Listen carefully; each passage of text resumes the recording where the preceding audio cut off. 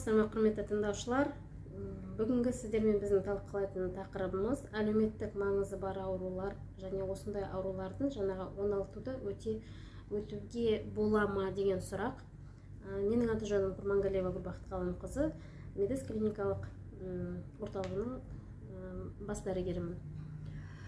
Біз сіздермен өткен тақырыбымызда айтып өттік. Әлеуметтік маңызы бар аурулар туралы яғни қазақстан республикасында әлеуметтік маңызы бар аурулардың тізімі бекітілген оған қандай аурулардың жататынын өткен тақырыбымызда біз сіздермен талқылап өткен болатынбыз. Енді осы әлеуметтік аурулары бар науқастарымыз оңалтуды қалай алуға болады? Бүгін сіздермен осы туралы талқылайтын боламыз.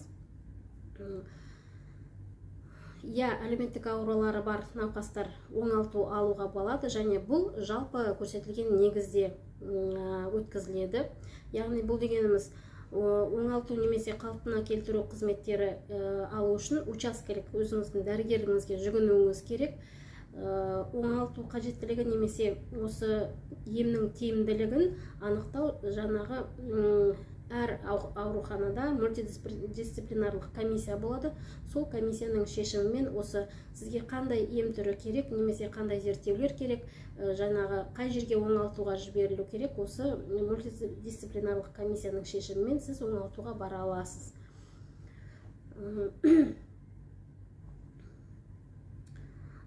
Жаңағы медициналық оңалту яғни медициналық реабилитация дейміз. Бұл мемлекеттік әлеуметтік медициналық сақтандыру сақтандырудың пакетінің көлемінде көрсетіледі.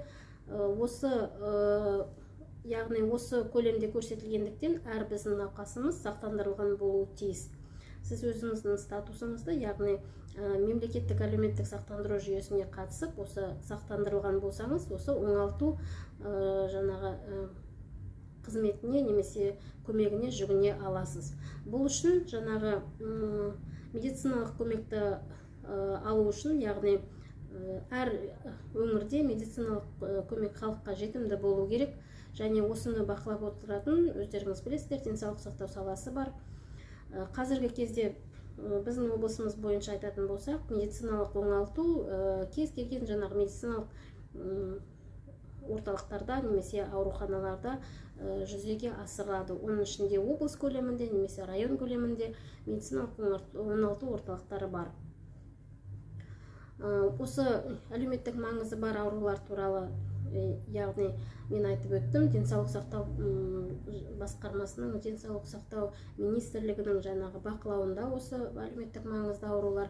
Сондықтан да медициналық әлеуметтік көмек осы жаңағы фонд тарапынан толығымен төленетін болғандықтан пациенттер осы емханада тіркелу арқылы жаңағы осы көмекті алуға болады. Егер сізге әлеуметтік маңызы бар ауру кезінде медициналық көмек көрсетуден бас тартылған болса немесе сізді әлеуметтік жаңағы көмекке жаңағы медициналық көмекке жібермеген жағдайда сіз осы өзіңіздің ауруханаңыздағы немесе облыс көлеміндегі пациенттерді қолдау қызметіне жүгіне аласыз. Егер жаңағы өз ауруханаңыздан немесе өз мекемеңізден осы пациенттерді қолдау көмегінен сұрақтың шешімін таба алмаған болсаңыз онда сіз медициналық сақтандыру қорына қолда бар байланыс телефоны арқылы жүгінуіңізге болады. Ол қолдау 24-те 7 мобильдік қосымшасы немесе 1406 бірыңғай байланыс орталығы немесе телеграмдағы сақтандыру бот ресми сайт фсмс kz сайтына сіз өз жаңағы шағымыңызды жүктей аласыз. Назарларыңызға рахмет. Бүгінгі тақырыбымыз осындай.